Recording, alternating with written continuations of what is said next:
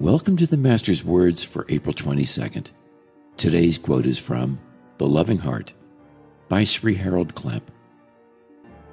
Much of the experience of people on the wheel of death and rebirth is unconscious experience, so they run in a circle. The spiritual exercises of Eck, however, lead to conscious experience. They go in the most direct way to God.